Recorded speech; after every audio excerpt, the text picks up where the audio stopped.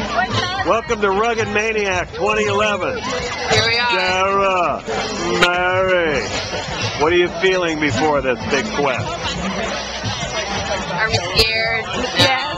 Oh, Nervous? no. No. Yes. Petrified? Stupid? Definitely. Definitely.